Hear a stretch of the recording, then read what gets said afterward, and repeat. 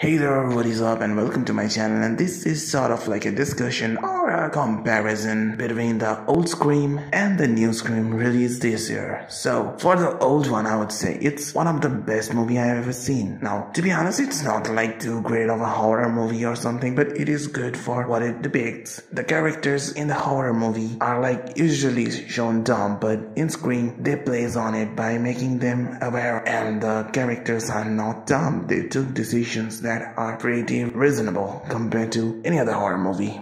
Now, the new one also have some meta moments which are very nice, but the problem comes with the new Hollywood where they try to remake or reboot some old movie franchises and feels too similar. Now, the new movie at its core is a real Scream movie, no doubt about that, but the problem comes with at times it feels too similar to the old Scream movies. Now, it doesn't build up new things. The original Scream when it came out, there was nothing for it to be compared to, but for the new one, there are many movies to compare it to. And to be honest, this mean making a new thing would work? Well, maybe, but Hollywood isn't going to do that. That's not very profitable compared to making a sequel slash reboot that can get the money. Now, the movie, the original Scream, starts off with the death of Drew Barrymore's character, Casey Baker, and with the first death, the movie pretty much shows that it is self-aware and the character knows about horror movies and horror movie tropes. I will not say all the characters characters are very intelligent because there are some dumb characters, but overall the movie, most of the main characters knows about horror movies and horror movie trope, which is done in the new movie and pretty good. Now, the new movie is compared to some of the newer movies of other franchises. I would say this movie is very amazing, but the thing is this movie doesn't build upon the old Scream. It just follows the footsteps and is just another Scream movie. Now, I don't want to spoil who Ghostface is for either of the movies, but the twist in the old one was I didn't expected that, but the new one I sort of like predicted it halfway because I've watched so many movies at this point that I could predict some twists, and that is not my special ability or something because you probably could too because that's like experience. We